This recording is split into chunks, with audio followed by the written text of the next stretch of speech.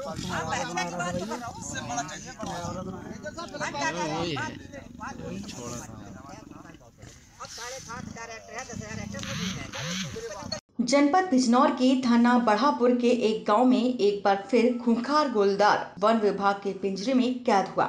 उसको देखने के लिए ग्रामीणों का तांता लग गया। बता दें कि जनपद बिजनौर की मामला बढ़ापुर थाना क्षेत्र के ग्राम रसूलपुर मुजफ्फर का है, जहाँ पर लगभग 10 से 12 दिन पर बता दें कि जनपद बिजनौर की मामला बढ़ापुर थाना क्षेत्र के ग्राम रसूलपुर मुजफ्फर का है, जहाँ पर लगभग 10 से 12 दिन पहले गोवंश को गुलदार ने अपना निवाला बनाया था। इसके बाद ग्रामीणों में दहशत का माहौल है और ग्राम प्रधान और ग्रामीणों की सूचना पर वन विभाग ने गाँव के पास खेतों में पिंजरा लगवाया, जिसमें से लगभग आज 12 दिन बाद देर रात गुलदार वन विभाग द्वारा लगाए गए पिंजरे में कैद हो गया।